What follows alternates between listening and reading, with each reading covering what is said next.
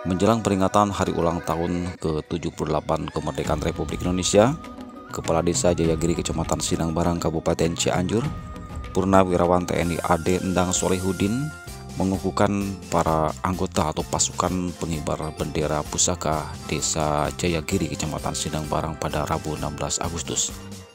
Endang mengatakan para anggota dari SMK penerbangan yang terpilih menjadi Paskibra Desa Jayagiri yang dikukuhkan karena memenuhi beberapa kriteria di antaranya memiliki sikap yang baik, pantang menyerah dan berjiwa kepemimpinan.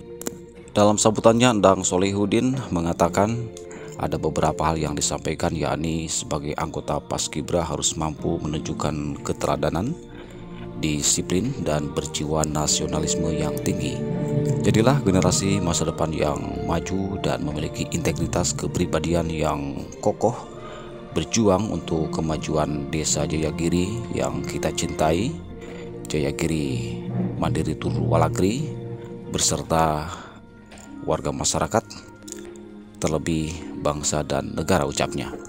Ditambahkan menjadi ujung tombak pembangunan dan persatuan bangsa menjaga kesatuan dan kekompakan dalam menapaki karir menuju masa depan serta selalu memberikan pengaruh positif dalam lingkungan maupun dalam pergaulan masyarakat. Terima kasih kepada orang tua yang telah memberikan dorongan serta motivasi dalam membantu tugas sebagai paskibra, kepada para pembina, pembimbing, dan pelatih terima kasih atas usaha dan kesabaran dalam membimbing putra-putri kami saat mengikuti latihan pungkas Endang Solehudin. Terima kasih.